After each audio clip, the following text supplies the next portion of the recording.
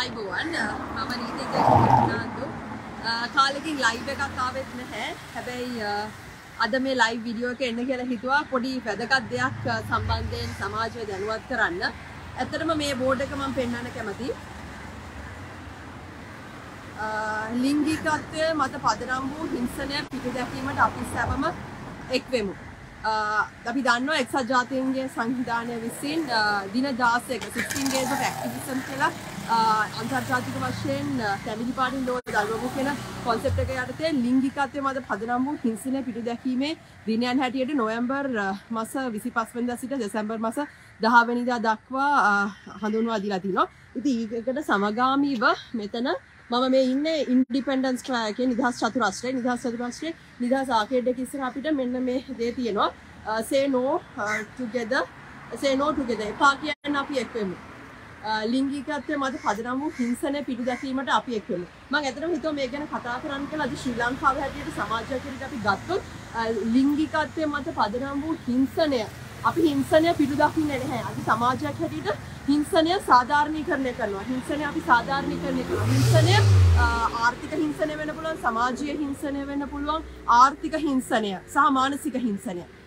ඉකනෝමිකල් physical sexual mental මේ හැම ආකාරයකම හිංසනය සිද්ධ වෙනවා ලංකාවේ. නමුත් අපි හිංසනය කියන්නේ මොකද්ද කියන එකවත් දකින්නේ නැහැ. දන්නේ නැහැ. ඒතර කාන්තාවන් හැටියට එතනින් ගිහලා හිංසනය හරහා uh, කොහොමද මේවට විරුද්ධව සමාජය නැගී සිටින්නේ අපේ අයිතිවාසිකම් මොනවද කියලාවත් අපි ඇත්තටම දන්නේ නැහැ. අපි අපි දකිනවා අද සමාජ මාධ්‍ය හරහා තුල සිදුවන වාචික හිංසනය. මේ සෑම ආකාරයකම හිංසනයක්ම වැරදි.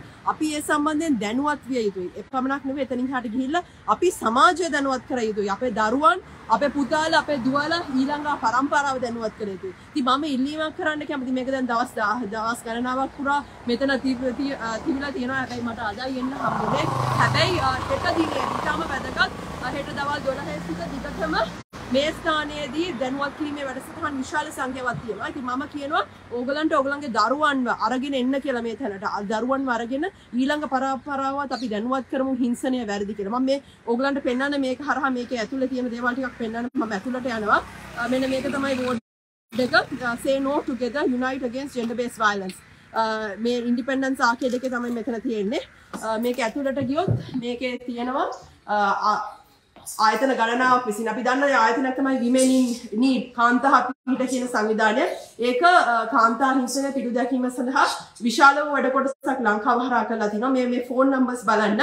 මේ ඕගොල්ලන්ට යම් මේ ඒගොල්ලන්ගේ සෙන්ටර්ස් යම් ආකාරයක හිංසනයක් සිද්ධ වුණොත් කාන්තා පිටට ඇමතීමට පුළුවන්. ඒගොල්ලන් නොමිලේ නීති උපදෙස් නීති ආධාර ලබා දෙනවා. ඉතින් මෙතන මේකේ ගණනාවක් තියෙනවා. මෙන්න මේකේ මෙතන ස්ක්‍රීන් එකේ හිංසනයට ලක්වෙච්ච පුද්ගලයන්ගේ කතන්දර ඇයි ඒගොල්ලෝ හිංසනය කරේ කියන දේවල් මෙතන කතා කරනවා. එතනින් හැට ගිහිල්ලා Uh, එතනින් ගිහිල්ලා uh, කොහොමද පර්පෙට්‍රේටර්ස් පර්පෙට්‍රේටර් uh, කෙනෙක්ගේ පාපෝච්චාරණයක් කන්ෆෙෂන් ඔෆ් පර්පෙට්‍රේටර්. ඇයි මම මේක මම කියවනවා නම් මගේ ජීවිතය පාලනය වුණෙත් ඒ විදිහටම තමයි. මගේ බිරිඳයි මමයි අතරත් සාමාන්‍ය පවුලක් වගේ ආරවුල් හිතමනාපකම් ඇති වුණා. ඒවා සාමාන්‍ය දේවල්. ඒත් මගේ ජීවිතය වුණේ මගේ පවුල. මම එයාලට ආදරය කරා. මම දන්නේ නැහැ එයාලට ඒක දැනුනේ කොහොමද කියලා. ඉතින් මේ වගේ මිනිස්සු ඇත්තටම පාපොච්චන්න කරන මේ දේවල් ඇවිල්ලා කියවන්න දැනුවත් වෙන්න කියලා අපි කියනවා මේක ඉතාම ඉතාමත් වැඩ වැදගත් වැඩසටහනක්. ඇත්තටම මම මේක සංවිධානය කරනාට කිව්වා මේක කොළඹින් පිටට ගෙනියන්න කියලා. මොකද මේවා මේවා ඇත්තටම අපි සමාජයක් හැටියට කතා කළ යුතු දේවල්. මේ යුද්ධ නිසා කාන්තාවන්ට සිදු වෙලා තියෙන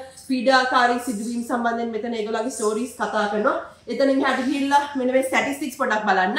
හතර දෙනෙකුගෙන් එක් අයෙක් වයස අවුරුදු 15 සිට සහකරු හෝ සහකරුවා නොවන අයෙකුගේ ශාරීරික හෝ ලිංගික ප්‍රචණ්ඩත්වයට ලක් වෙලා තියෙනවා. එතනින් හැට ගිහිල්ලා මෙන්න මෙතන බලන්න.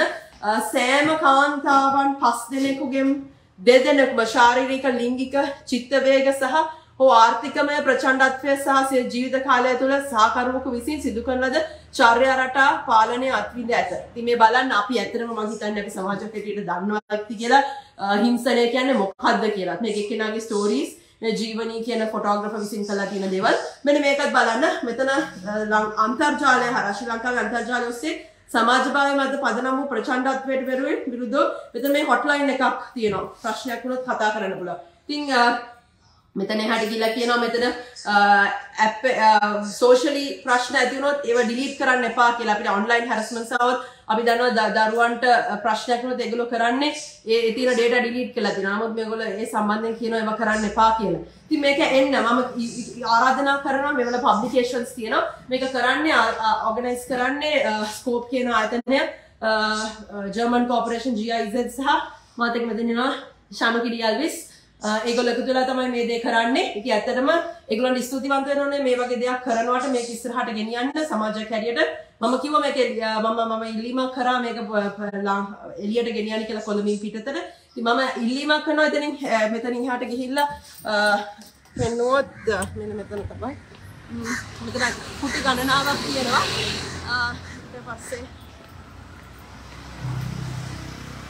මෙතන ඒගොල්ලන්ගේ දවස පුරාම වැඩසටහන් තියෙනවා. එක එක විශේෂ වූ කතික කතිකයන් ඇවිල්ලා මේ කන්ටේනර් එක ඇතුලේ තියෙන පොඩි ඔඩිටෝරියම් එකක් වගේ නිර්මාණය කරලා.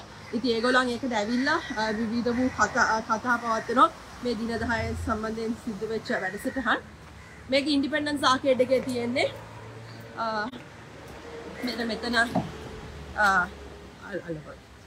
මෙතන මෙතනින් ගිහිල්ලා මේක ඇතුලේ ඔඩිටෝරියම් එකක් තියෙනවා. ඒ ඔඩිටෝරියම් එක ඇතුළේ දවස්ස පුරාම එක එක වූ වැඩසටහන් සිද්ධ වෙනවා.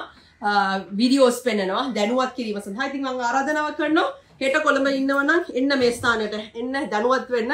තමුන්ගේ දරුවන් හෝ ලෙවල් කරපු ඒ ලෙවල් කරපු දරුවන් ඉන්නවනම් එන්න. අරගෙන ඇවිල්ලා මේ දේවල් සම්බන්ධයෙන් දැනුවත් කරන්න කතා කරන්න. මොකද අපි සමාජයක් හැටියට අපි අපේ අයිතිවාසිකම් සම්බන්ධයෙන් දැනුවත් වීම වැදගත්. අපි සමාජයක් හැටියට we must say no together to unite against gender based violence. මේකට පොඩ් එක පේනවනම් uh, say no to unite against gender based violence. මේ දේ ඇත්තටම සමාජය හරහා සිදු වෙන්න ඕනේ uh, කනගාටු වුණත් කියනවනේ අපේ දේශපාලඥයන් අපේ ප්‍රතිපත්ති සම්බන්ධකයන් මේ සම්බන්ධයෙන් කොච්චරක් දුරට ඔවුන්ගේ හදවත තුළ uh, මේවා ඇත්තට කැකෑරෙන ප්‍රශ්න මේවා මේවා පිටු දැකීමට ඔවුන් කොච්චර දුරට කටයුතු කරනවද කියන එක ඇත්තම ප්‍රශ්නයක්. අපි රටක් හැටියට දකින්නේ සංවර්ධනය කියන්නේ ඉන්ෆ්‍රස්ට්‍රක්චරල් ඩිවලොප්මන්ට් පාරවල් හදනවා බිල්ඩින් හදනවා ඒවා තමයි සංවර්ධනය හැටියට දකින්නේ. නමුත් මානව සංවර්ධනය සමාජීය සංවර්ධනය මේ දේවල් ඇත්තටම වැදගත්.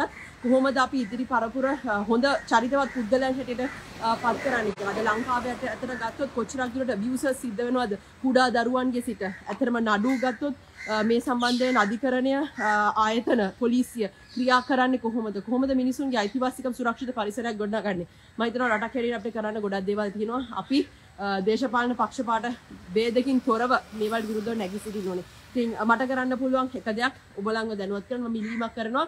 එන්න මේ තැනට. ඇවිල්ලා ඔයගලගේ දරුවන්වත් අරගෙන මේ දේවල් වලට ඇවිල්ලා මෙතනට බලලා මේ සම්බන්ධයෙන් දැනුවත් වෙන්න කියලා. සුත්